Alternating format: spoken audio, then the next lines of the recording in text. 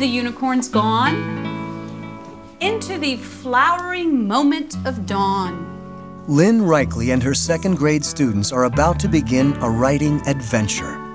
And aren't her words just wonderful? Developed at Columbia University, the framework Ms. Reichle uses is called the Writer's Workshop. She just didn't say that it just went to a flower, did she? No, to a valley of flowers. The tight link between reading and writing in this program appeals to the principal, Dr. Ann McClellan. The reason we chose our writing program is there's research out there that says we need to make writing real for the kids and um, also to use best models. And we thought, why not connect the reading and writing, which is what the research says, and, and showcase the author's voice through wonderful pieces of literature. I would like to get some suggestions of what you are going to begin with today. Lila? Where do leaves go when they blow away? Yeah, where do they go? Zach? The endless animals. Rebecca? Where do shells go in the ocean? Not all teachers present writing as explicitly as Ms. Reichle. A lot of teachers were not teaching writing. We began to investigate the few teachers that were, and we saw not only were their children better writers, but they were also better readers. It's now time to move from planning to the next stage of writing, drafting. The kids fan out and begin their own stories.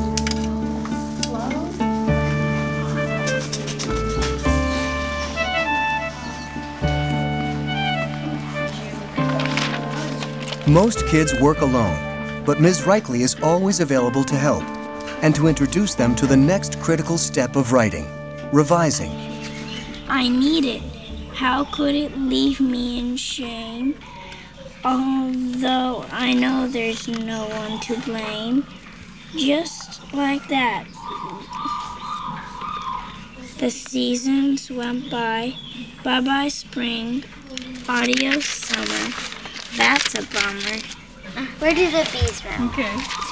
Eager to leave the deadly hum of silence, past cities of waves, soaring in the air, past yesterday's cry of the rooster, past opposites of colors. Even though you repeated the word past a lot, it didn't make me want to stop hearing it, so that's good. I like that. It just put an exciting touch to it, I Yeah. think. Ms. Reichle arms her students with powerful guidelines for editing, the final stage of writing. We're not going to use tired words, right? And you, you can you know what some of the tired words are, right? Jessica? Pretty, Pretty. What else? beautiful. Beautiful. And that's where the literature comes in also. Uh, the, these books are filled with beautiful language and sophisticated words. Opposites. And that also helps them to figure out another way to say it. What if we need to use the tired words? If you, used, if you need to use a tired word, I want you to think real hard another way you can say it. We'll try to share For the kids, the finished, best part of Writer's Workshop is sharing their stories.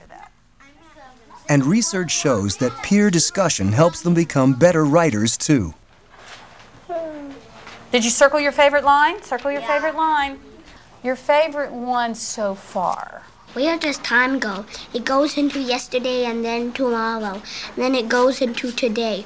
Where does time go? It ticks away in the day. Where do the shells go? In the deep ocean blue, in the bumpy, lumpy sand. Where do shells go? Where have the Pegasus gone? Writing is grueling for many children, but Writer's Workshop makes it easier.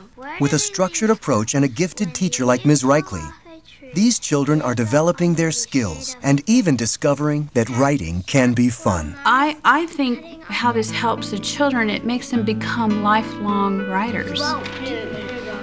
It makes them comfortable. They have no inhibitions about writing. These students are preparing for the challenges ahead, gaining the power to write their own happy endings.